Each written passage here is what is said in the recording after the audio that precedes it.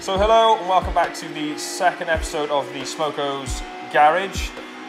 We are welcoming you back inside of Simon's dance studio. Uh, something that Simon has a big passion for is dance and I'd like to promote his up and coming YouTube videos. Cy on Ice, Big Man on Campus and Sliding Round with Cy. They're all on YouTube, just type them in.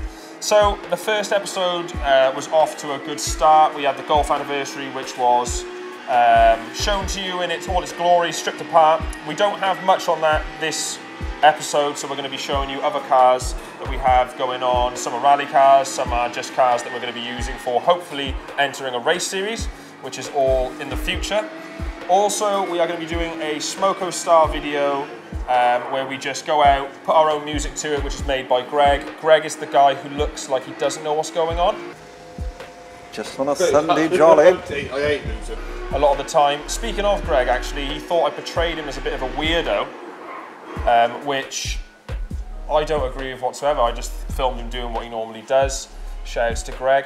But apart from that, this episode's going to be a bit more fun, a bit more going on. To be honest, like I said before, if you've watched this second episode, or you've got to this second episode, I'd be highly surprised because it, we just we're just completely winging this.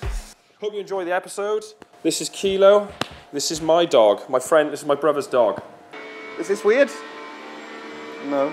About three years ago, I was uh, swimming in a pool in um, Finca Corsine in Spain, and I looked up, and to my surprise, I saw uh, David Dickinson.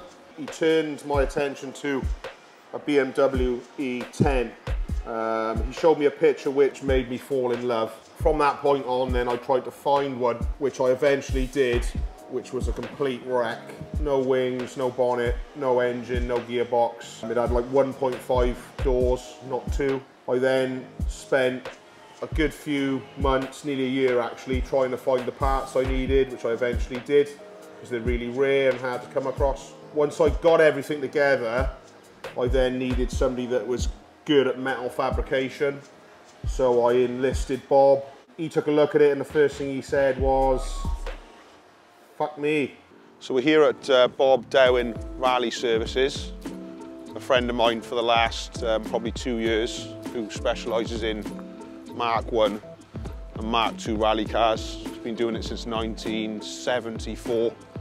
He doesn't race himself anymore. So I've got two cars here, 1702, known as a, an E10 BMW.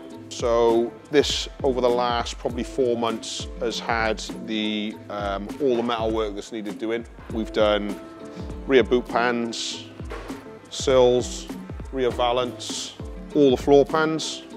There's been a couple of patchworks, bits of welding done in the back. So a lot of you guys will recognise S14, um, BMW E30, um, M3 motor and gearbox. There's a bit of work to do in regards to this as you've got a dog leg sump on these and if you can see that just here because we're obviously fitting it into a, a lot smaller car than the E30 um, this dog leg becomes a bit of a problem so we've got a new dry sump kit that I'm ordering this afternoon so it needs this dry sump kit which uh, when you ever read the word kit, you should always read further into finding out to make sure that all of that kit is everything you need. How much is that? That's $3,999.95 and uh, when you read further this it only comes with so many things you need. You need more. Simon talks a lot about about business, about his Mercedes. His, his Mercedes talks about that pretty much every time I see him. Yeah, the most common word you hear Simon say is Nürburg and Mercedes. We're also going to be doing some different work that currently the dry sump kits come with with these current E30s. Most of the kits have the dry sump pump fitted here, but obviously with the motor being sat on the angle it's at, and the reason that I'm talking about this now is quite important, is the steering column also comes in this area of the um, exhaust manifold, which is already a problem, but obviously with fitting a dry sump pump on the side of here as well, we end up with three items in an area which is already going to be really small.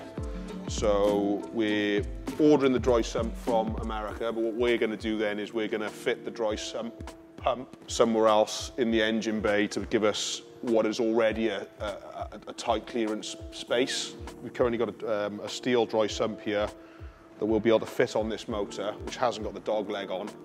One of the other things now, which we were toying with, a lot of people have, have tended to chop down E30 subframe so you can use the original motor mounts back to the subframe and all.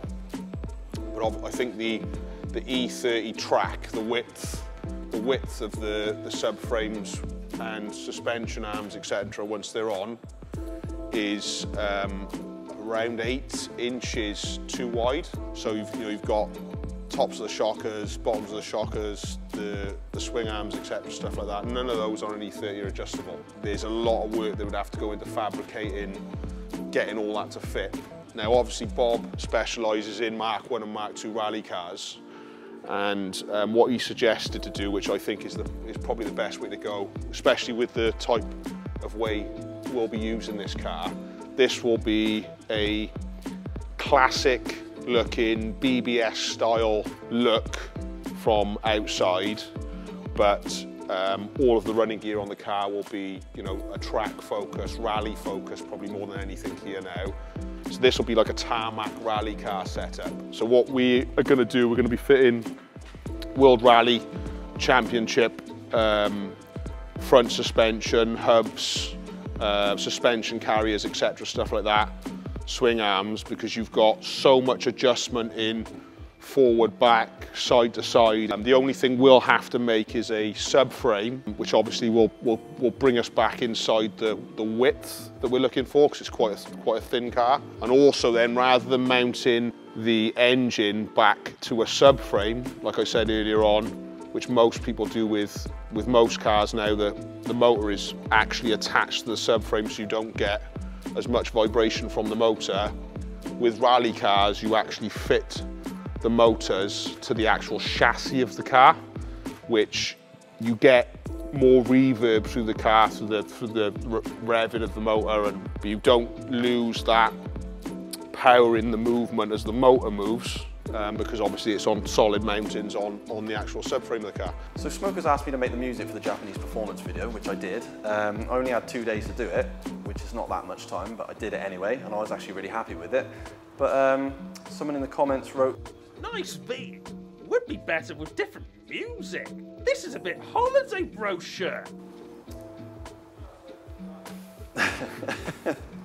okay, so we've got a very cheeky number at the back, which I'm going to show you now.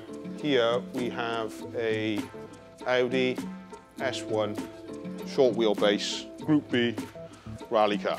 This has taken, I think, about 12 months to get to where it is right now. There's a lot of work that I'm hiding. We're not going to show you much to do with this car, but later on in the series, as this progresses, we'll definitely uh, show you more.